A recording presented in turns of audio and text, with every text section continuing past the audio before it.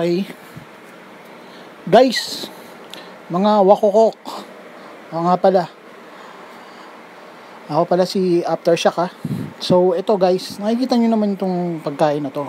Ah, alam nyo naman siguro kung ano to. Ah, um, isa sa mga paborito ng mga Japanese, di ba? So guys, nakita nyo may tinidor, di ba? Sa gilid, oo, di ba? Dalawa lang yung tusok ng tinidor. Pwedeng toothpick yan, pwedeng pansundot ng kulangot.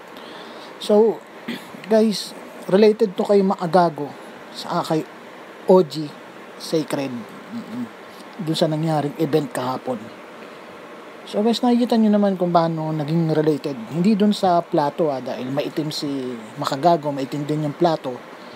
Hindi doon. Sabihin, napaka-colorful na nangyari, di ba?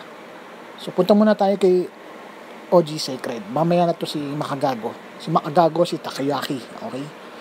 So, ito si, ayan, ito si ano, ito si OG Sacred na yan. Ayan, crispy pata, di ba? Yung ba crispy yung suntok niya kay Makagago, pero yung loob niya malambot. Ibig sabihin pag yung pagka-crisp na suntok biglang takbo, lumambot, lumambot yung katawan, di ba? Oh, parang tumakbo. Sabi ng iba, tinay-taser. Oh, di ba? Kaya, ayun. Ayan. Ayan, ano. Kahit na andyan si Makagago yung sausawan, di ba? Oh, parang pair pa rin silang dalawa. So, hindi tayo masyadong mapaligoy-ligoy pa. Bali, itong crispy pata si OG Secret dahil crispy ang suntok, pero malambot dahil tumakbo.